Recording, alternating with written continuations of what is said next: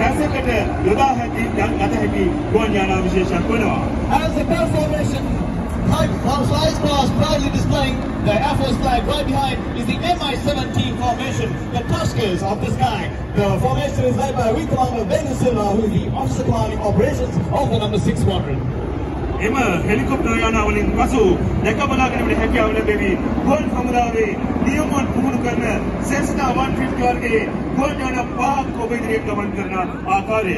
And now you will see five uh, 150 basic trainer aircraft of the Sri Lankan Air Force flying right above you. This formation is led by Wing Commander Dinesh Kasago, the commanding officer of the Flying Training Wing of the Sri Lanka Air Force. In Anatharu Gamandani, Y12 වගේ සැහැල්ලු මගී ප්‍රවාහන ගුවන්යානා තුනයි දැන් ඔබට මේ ගාලමෝදර ඉහළ ආස්තනවරු බැලුවොත් ඔබට දෙක බලා ගැනීමට හැකියාව baby Y12 වර්ගයේ Sahel Magi ප්‍රවාහන Guanyana. Coming right behind are the three Y12